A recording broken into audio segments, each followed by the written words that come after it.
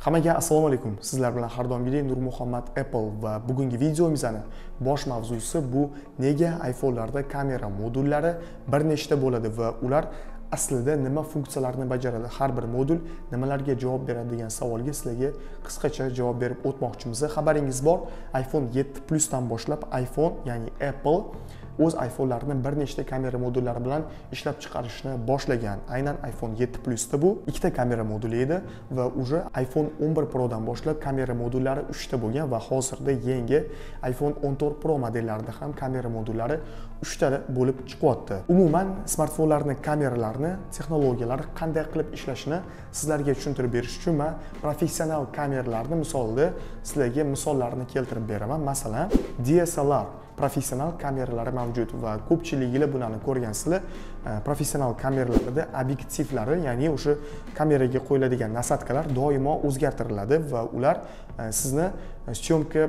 paytingizdagi maqsadlaringizga qarab o'zgartiriladi. Har xil hajmdagi kameralar mavjud. Ularni ishlatganingizda kamera sizga har xil turdagi kadr ya'ni video yoki fotolarda ko'rinishlarni taqdim etadi. Va odatda bu turdagi professional kameralarni narxi qimmat turadi. Ya'ni sony yoki canonlarni oladigan bo'lsak bu eng hozirda bozordagi eng mashhur kameralar ularni narxi o'rtacha olganda uch ming dollardan boshlanadi va agarda ozgina ularni наворотli versiyalarini xarid qilaman desanglar o'n ming dollargacha ham borishi mumkin ularni narxi. Va bular professional dslr kameralar deyiladi. Navbatdagi kameralarni turi esa bu raqamli ya'ni digital kameralar deyiladi va ularda obyektivlar bo'lmaydi. Ya'ni yagona obyektiv kamerani o'ziga o'rnatilgan bo'ladi va u e, suratga olish jarayonida agarda uzoqda turgan uzoq masofada turgan obyektlarni suratga olishni istasangiz e, avtomatik tarzda kengayadi va sizga e, zoom vazifasini bajaradi. Albatta unda ham siz juda ham yaxshi sifatdagi E, foto va videolarni qo'lga kiritishingiz mumkin bo'ladi lekin baribir e, obyektiv ya'ni almashtiruv obyektivlariga ega kameralarga nisbatan ularni sifati baribir pastroq yuradi. И narxi ham shunga yarasha hamyonbobroq bo'ladi. Mavzudan ozgina chetlashamiz do'stlar. Chunki sizlarga muhim xabarim bor. Ya'ni yangi perspektiv akademiya loyihamni sizlarga tanishtirmoqchiman. Aynan ushbu loyihamizda yangi saviyali bloger nomli programmamizni hozir ishlab chiqyapmiz bu programma va umuman proyekt o'zi nima haqida desanglar nafaqat mani balkim ko'plab boshqa bu sohadagi mashhur ekspertlar bilan sizlar bilan o'z tajribamizni va bilimlarimiz bilan bo'lishib boryapmiz agarda sizlarga ushbu mavzu qiziq bo'lsa ya'ni ijtimoiy tarmoqlarda o'z shaxsiy brendinglarni sifatli va saviyali kontent orqali rivojlantirib keyinchalik bu soha orqali yaxshigina daromadga chiqish mavzusi sizlarga qiziq bo'lsa albatta hammanglarni loyihamizda kutib qolamiz. Instagram profilimizga obuna bo'lish esinglardan chiqmasin ssilkasini har doimgidek описание bo'limida qoldiraman. Hammaga e'tibor uchun rahmat. Videoni ko'rishni davom etamiz.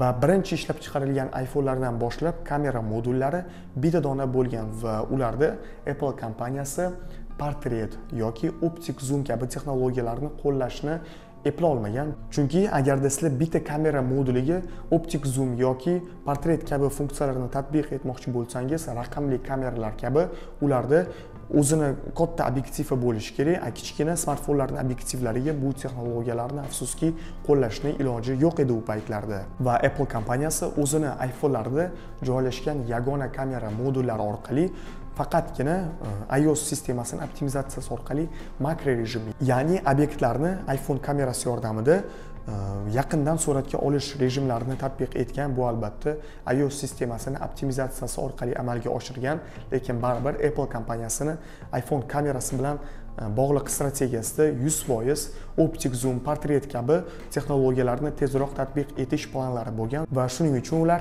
iphonelarga qo'shimcha kamera modullarini qo'shish qaroriga kelishgan. Aynan raqamli kameralarda joylashgan yagona obyektiv ya'ni avtomatik obyektivni obyektiv texnologiyasini samsung kompaniyasi o'zini smartfonlarida ham qo'llab ko'rgan edi. Bir paytlar ya'ni bu s4 zoom smartfoni bo'lgan unda e, bitta dona obyektiv ya'ni katta obyektiv smartfonga o'rnatilgan. Va sizlar uzoqda joylashgan obyektlarni suratga olishni istasangiz bu Э, kamera avtomatik tarzda kattalashgan va sizlarga juda ham kuchli zoom rejimini taqdim etgan edi. Lekin afsuski bu texnologiya telefonlarni juda ham qo'pol va og'ir qilib qo'yganligi sababli samsung tez orada bu texnologiyadan e, voz kechgan va keyinchalik e, o'z smartfonlariga qo'shimcha kamera modullarini tatbiq etishni boshlagan.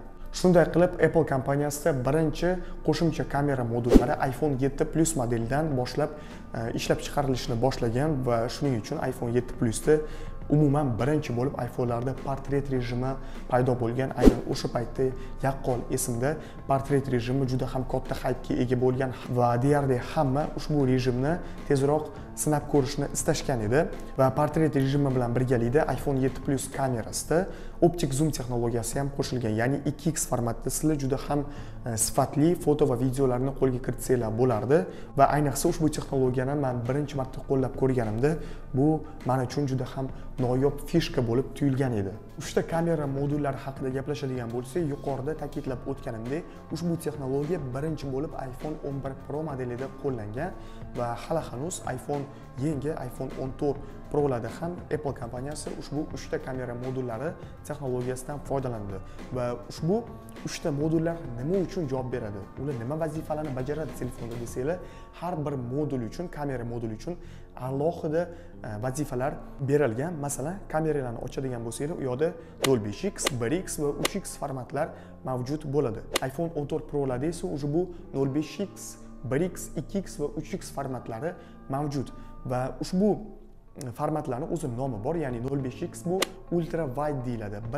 1x bu standart rejim desa bo'ladi lekin apple uni wide ya'ni keng format deb aytadi 05x esa o'ta keng format desak bo'ladi va 2x 3x kabi уже yaqinlashtirilgan rejimlar esa bu telefoto deb nomlanadi. Ya'ni 2x 3x formatda suratga olgan paytingizda o'sha kamerangizni bitta moduli bu texnologiyaga javob beradi. Va o'zimni tajribamdan kelib chiqib sizlarga bemalol ayta olaman aynan standart rejim ya'ni 1x da suratga olingan Э, kontentlar ko'pincha 05x va 3x ga nisbatan anchagina sifatliroq bo'ladi.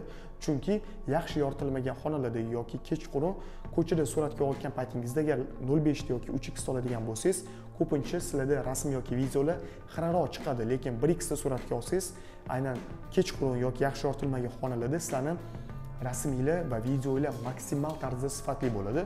Shuni inobatga olib qo'yishinglar juda ham muhim. Agarda e, kontent suratga olishni yoqtirsanglar juda ham ko'p foydalanuvchilar aynan apple ushbu uchta kamera modullari bilan E, moslashgan birinchi smartfonlarini taqdim etganda e, apple'ni kritika qilishgan ya'ni bu dizaynni ular yoqtirishmagan. To'g'ri ozgina ushbu uchta kamera modullari telefoningizda noodatiyroq ko'rinishga ega bo'lsa lekin o'zinglar ushbu videomiz davomida guvohi bo'lganinglardek aynan funksional jihatidan juda ham katta vazifalarni bajaradi va hozirgi kunda aynan ushbu texnologiya yordamida iphonelar dunyodagi eng kuchli kamera fon ya'ni eng kuchli kameraga ega bo'lgan smartfonlardan biri hisoblanadi. Shu bilan bugungi videomizni o'z yakuniga yetdi do'stlar o'ylaymanki biza yaratayotgan kontentimiz sizlarga ma'qul kelyapti va albatta ushbu texnologiya bo'yicha o'zinglarni fikringlarni yoki savolinglarni albatta kommentariy bo'limida yozib qoldiringlar. Shaxsan o'zim ularga birma bir javob berib o'tishga harakat qilaman. Hammaga e'tibor uchun rahmat. Keyingi videolarimizda